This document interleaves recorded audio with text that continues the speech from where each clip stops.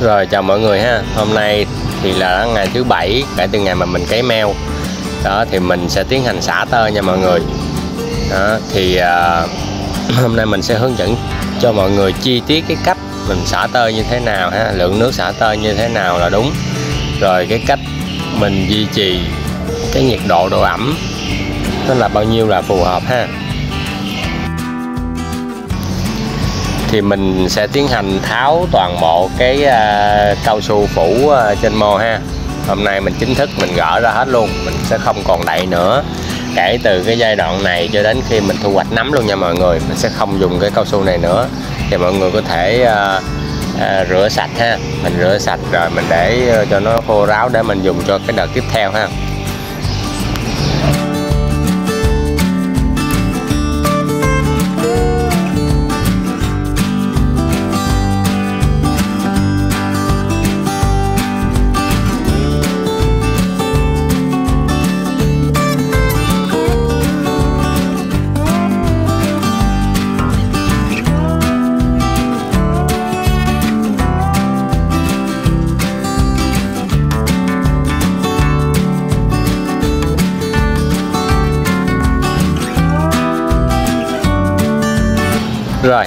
Thì đây là cái tơ mà mình ờ, ủ tơ sau 7 ngày nha mọi người.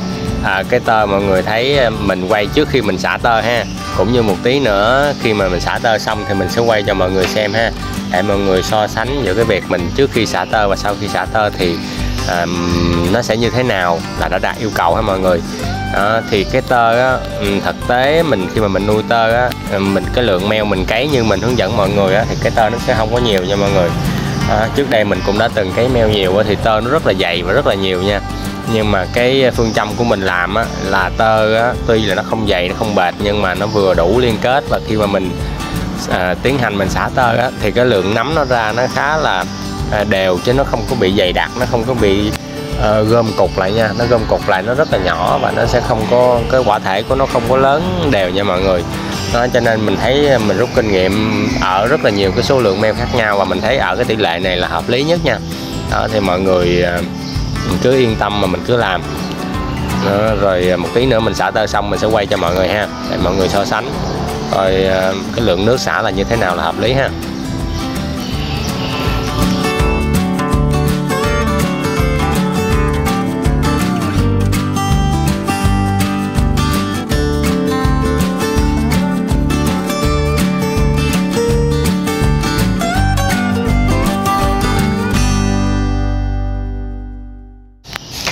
Rồi tiếp theo mình sẽ hướng dẫn mọi người cái cách mà mình xịt à, nước xả tơ ha. Thì à, cái bét này hôm trước là mình à, trong cái video trước mình hướng dẫn cho mọi người đó, mình à, bổ sung dinh dưỡng đó mọi người. Đó, mình chỉnh làm sao cho cái xương nó ra mịn nha. Đó. thì à, mình tưới cái lần xả tơ này là mình tưới là nước nó sẽ nhiều và mình tưới à, có thể là một à, lượng nước nó nhiều nhất trong các lần mà mình có thể tưới lên cái mô của mình nha cái giai đoạn này là cái giai đoạn mà mình được phép tưới. À, tuy nhiên nó cũng không phải là muốn tưới ờ, nhiều là tốt đâu nha mọi người. Mình tưới ở một cái lượng làm sao đó để cho cái tơ của mình nó nó ôm sát vào phía trong cái sợi rơm nha. Ôm sát vào trong mô nha. Thay vì trước khi mà mình tưới á, thì cái sợi tơ nó nó bong lên nó bong lên. Nhưng mà khi mà mình tưới xong á thì cái lượng nước nó sẽ làm cho cái tơ mình giống như cảm giác là nó sẽ hơi hơi tan ra vậy đó. Cái màu nó hơi nhạt lại và nó bó sát vào trong rơm luôn. Đó thì đó là cái điều kiện lý tưởng nhất mà để cho cái à, đinh ghim nó hình thành nha mọi người. Đó thì um, mình sẽ quay cái cách mà mình uh, xả như thế nào. Mọi người lưu ý là mình xả luôn tưới luôn cả bên mặt dưới của mô nha. Tại vì bên mặt dưới của mô nó cũng có tơ và nó cũng ra nấm nha mọi người đó, cho nên mình cứ tưới cả trên và cả dưới luôn. Đó, cái lượng nước làm sao mình tưới cho nó đủ nước nha cho nó uh, khá khá một tí. Đó, cái giai đoạn này mình được phép. Mình bổ sung nước nhiều một tí nha mọi người.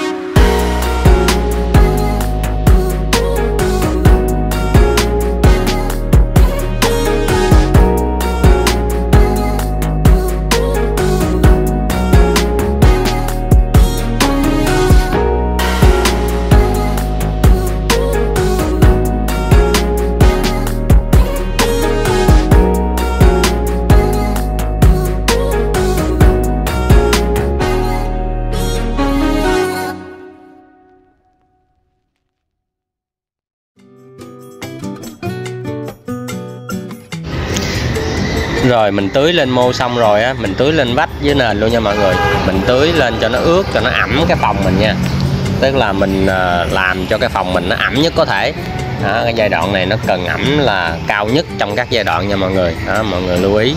Khi mà mình tưới xong cái mô là mình tiến hành mình tưới luôn vách luôn. Tưới vách tưới nền luôn cho nó ướt luôn nha.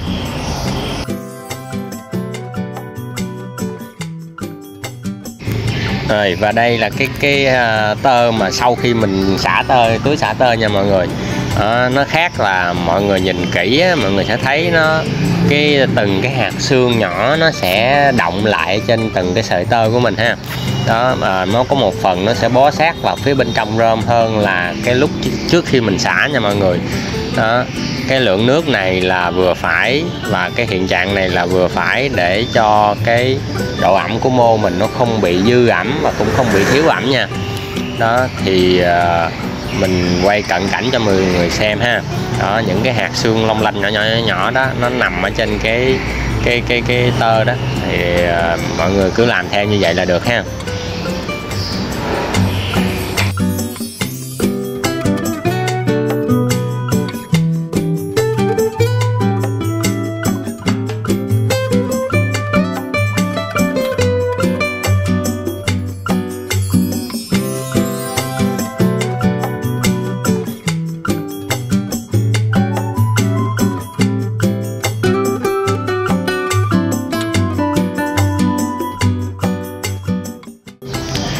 Tiếp theo sẽ là bằng nhiệt độ và độ ẩm nha. Bắt đầu từ hôm nay, bắt đầu từ ngày thứ bảy trở đi là mình sẽ đặt một cái nhiệt kế và một cái à, đồng hồ đo nhiệt độ độ ẩm ở trong phòng ha. Đó, Để trên mô của mình đó mọi người để ngay giữa phòng nha Để mình theo dõi và cái nhiệt độ mà lý tưởng trong cái giai đoạn sau xả tơ đó mọi người. Tức là từ 28 đến 32 độ nha, nhiệt độ phòng nha. Và cái nhiệt độ mô của nó là tầm 30 mốt đến khoảng tầm 34 độ lại thôi nha mọi người. Đó mọi người lưu ý cái giường nhiệt độ này để mình kiểm soát tốt được cái phòng của mình. Thì sau khi mà mình xả tơ xong á thì mọi người đặt nhiệt kế xong rồi thì mình đậy ờ, uh, kính cái phòng lại nha. Để qua ngày hôm sau á mình sẽ tiến hành hướng dẫn cho mọi người cái cách treo đèn kích ghim như thế nào. Rồi uh, là thông gió và cấp ẩm ra làm sao. Một cách tự động để mọi người Ờ, đỡ vất vả nhất có thể nha, trong cái giai đoạn này và nó cực kỳ hiệu quả nha mọi người. Đó, thì mọi người nhớ đón xem, nhớ đăng ký kênh để ủng hộ mình và chia sẻ cái video này đến cho mọi người, để cho mọi người cùng biết cái cách làm để mà mọi người làm cho nó đạt hiệu quả nha mọi người. Đó, hẹn mà gặp mọi người ở video sau nha. Cảm ơn mọi người rất nhiều. Bye bye.